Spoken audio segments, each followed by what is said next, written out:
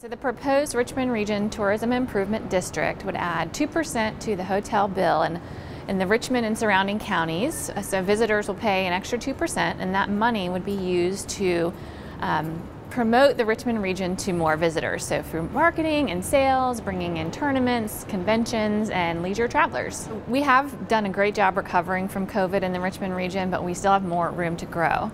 And so the vision is that this funding will help us bring even more visitors to our region to stay in our hotels, eat in our restaurants, shop in our shops, and all of that supports jobs and improves quality of life for people who live here.